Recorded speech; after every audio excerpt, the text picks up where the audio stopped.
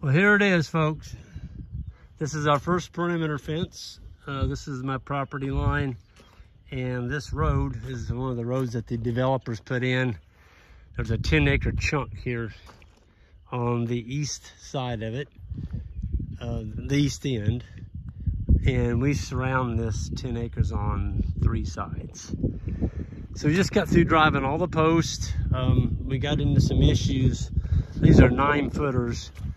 And uh, instead of trying to auger every single one of them in and then tamping them, we hired a guy with a post pounder to drive them. And it worked pretty good down in the draws, but we got up here on these ridges. And I'm telling you, it would not drive them. It went down about two and a half feet and a 750 pound weight hit these posts and just bounced. Absolutely bounced. I'll show you this gate here in a minute. I want to show you. We got them in. I had a brainstorm. I went home very, very depressed last night. I'm like, how in the world is going to get in 90 of these without tamping every single one of them? You know, we're talking four and a half, four and a half foot in the ground. And so I got a brainstorm last night. I'll turn around, get the wind out of the camera. Um, I remembered that I'd bought an auger bit for the skid steer that was six inches, six inch diameter. And I don't know if any of y'all have seen these augers that go on these skid steers, but they're built super, super strong. They're not like a tractor digger. And if you hit a root with an auger on a skid steer, you can just reverse it and back it out of the ground. If you hit a root with a PTO driven tractor digger and it stops, it locks up, you are done. I've done it twice. It took me all day long to dig a human sized grave around that auger to cut the root out to release my digger from the tractor. It wouldn't start and you couldn't couldn't get it out. So I will never dig another hole with a tractor digger. But uh, back to the here. So we went this morning, we got over here and we I got in front of uh, Justin with his post driver and I started augering these and uh, Joel and Ike and I were keeping them level, the holes. And this hole went down um, basically about four foot two to four foot five, about four and a half feet on most of these.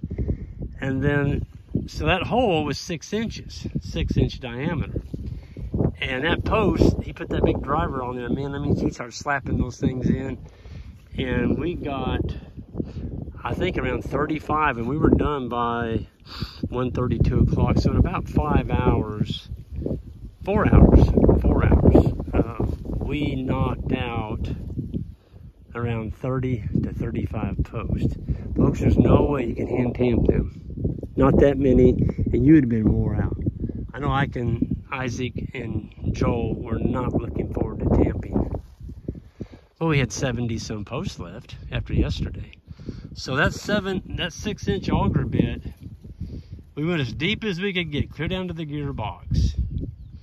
And folks, when we got down at 36 inches, that ground was powder, powder dry. It wouldn't, we couldn't get it out of the hole it just kept filling back in the bottom foot. And so I came up with a deal here the other day. I'm like, what if we put half a gallon of water in there? So we poured a half a gallon of water in the bottom of the hole. I put my auger bit down in there and I turned it like this, just kept making like a mud patty. And then every single crumb of that dried dirt stuck to my auger bit and I was like, and that's why this clay is kind of wet looking that and we got another rain. We got another rain last night. So we got an inch and a quarter on Wednesday night and today's Thursday, February 14th.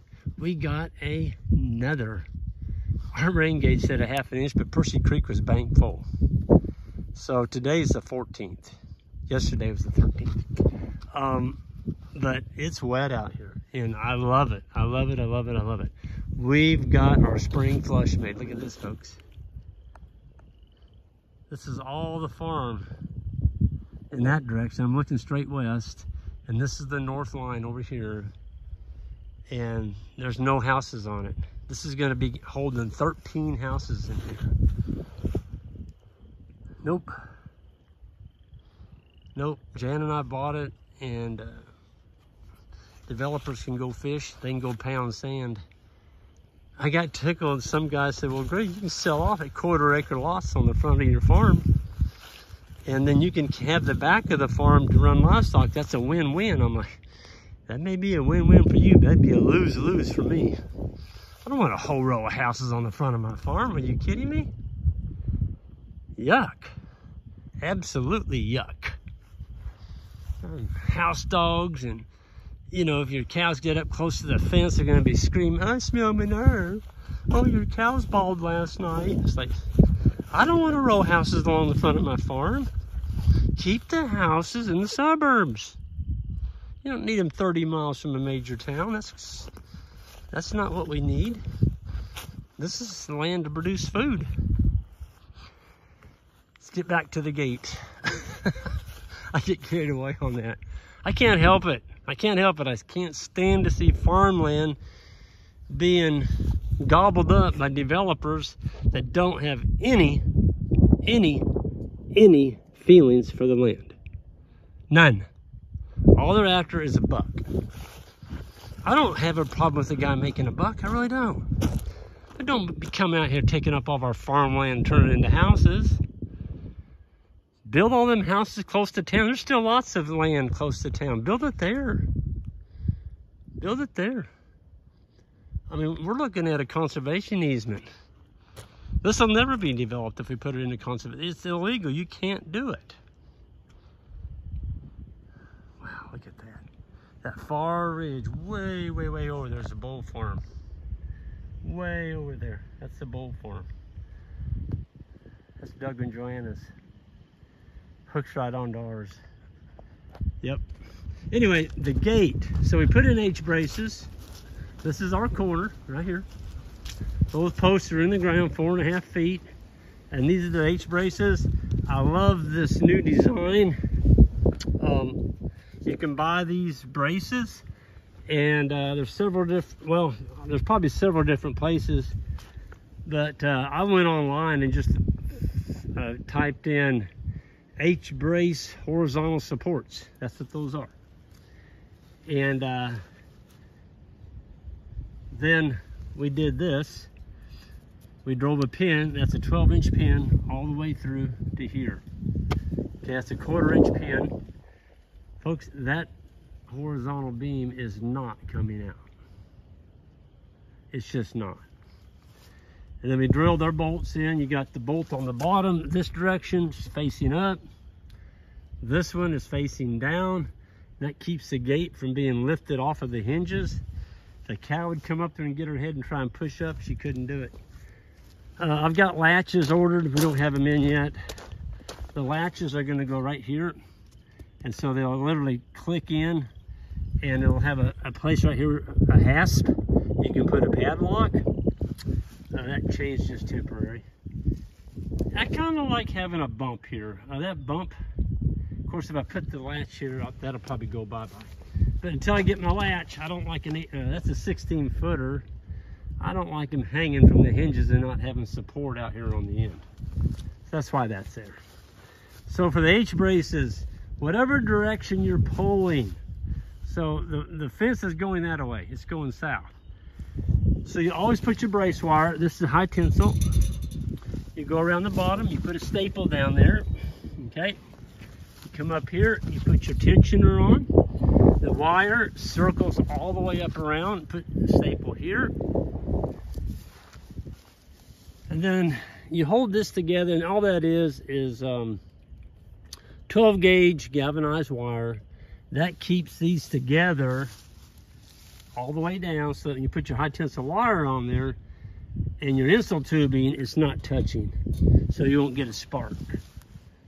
Um, this this particular brand here is a Zareba. Zareba.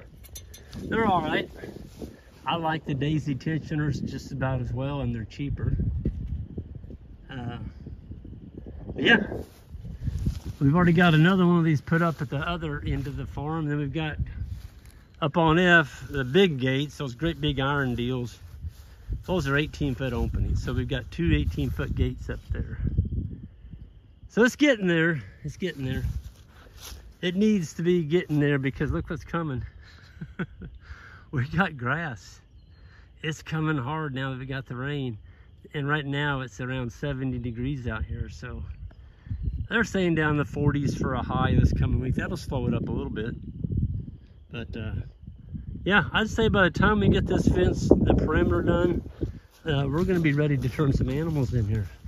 I'd say the grass is gonna be hitting that eight to nine inch mark. Um, yeah. So with that, I'm gonna go ahead and get out of here. Anybody that's interested in building some really good high quality fence, high tensile folks, stay tuned. High tensile, that's what we're gonna be putting up here. And uh, we'll go through some learning exercises, how to teach you how to put up high tensile fence. It's that time of the year. Check out the description section of this video. Get 10% off on your first purchase from PowerFlex Fence. There is a discount code there. You've got to use that code or you're not going to get your discount. And that's on fencers, everything. You know, you can you can get a little money invested when you're setting up a whole farm. So make it count. Put your list together and get that 10%, man. Isn't that a beautiful view?